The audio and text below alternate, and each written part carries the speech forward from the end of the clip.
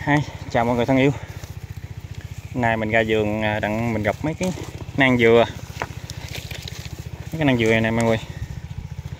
Để cho cây nó phát triển lên.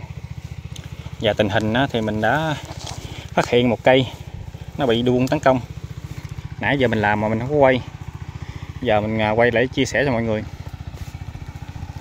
Trước khi cái ý định của mọi người muốn trồng à, dừa sim Malai, dừa sim lùng hoặc là dừa, dừa sim ta hay là dừa ta gì đó thì ờ, cũng nên cân nhắc lại nha. Tại vì cái con ờ, bọ anh cứng á nó vô nó tấn công từ cái lúc nào mình không hay rồi nó khoét lỗ uh, ờ, đồ xè nó vô nó đẻ trứng lúc nào mình cũng không biết luôn. Mình đã định kỳ nửa tháng mình xịt một lần rồi đó mà nó vẫn bị.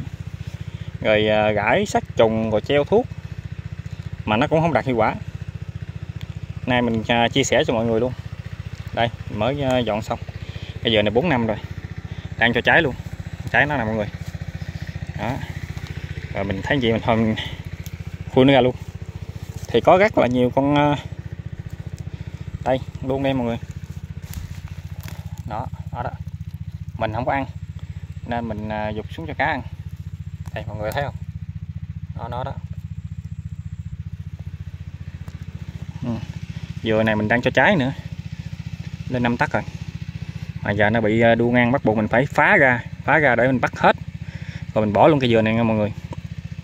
Chứ nếu mọi người mà để lâu ngày vài tháng á, nó nở ra nó sẽ đi phá những cây dừa khác nữa. Cái vườn dừa của mình á, là mình không xác định là nó đã bị bao nhiêu rồi. Giờ mình gặp cái này mình quay cái này thôi.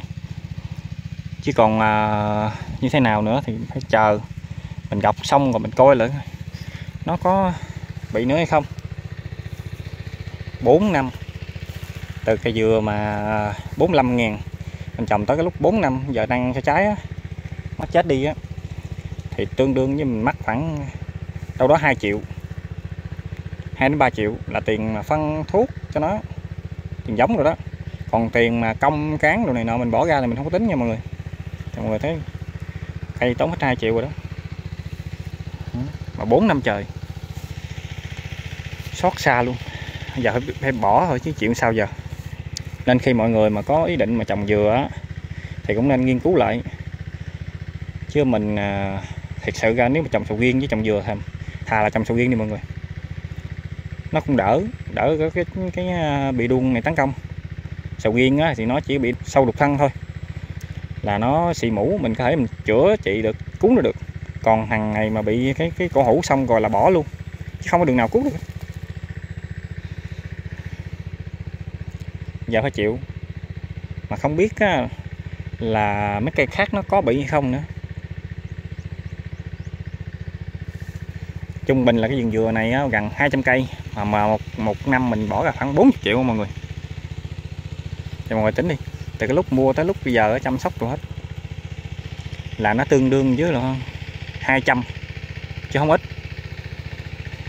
Giờ chưa lấy lời được mà nó đã bị tình trạng này rồi thì mọi người có nên trồng dừa nữa không mọi người? Đây là góc chia sẻ nha mọi người. Chứ mình không có nói là trồng dừa là không đạt hiệu quả. Mà thấy như vậy nè mình quay lên mình chia sẻ cho mọi người.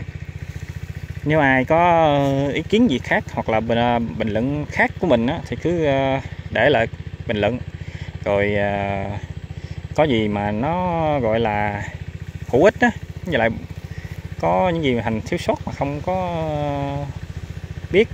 rồi mọi người chỉ thành học hỏi để cách nào mà cho đuông nó đừng có ăn ờ, có hú dừa nữa. Thì ờ, thành cũng sẽ cảm ơn.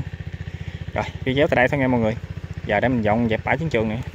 Nãy giờ làm thấy mệt luôn á. Ra vườn mà thấy cây trái, nó ra trái là mình mừng rồi. Giờ mà thấy đuông ăn mà thấy rồi cầu tới rồi đó. Hẹn gặp mọi người video lần sau.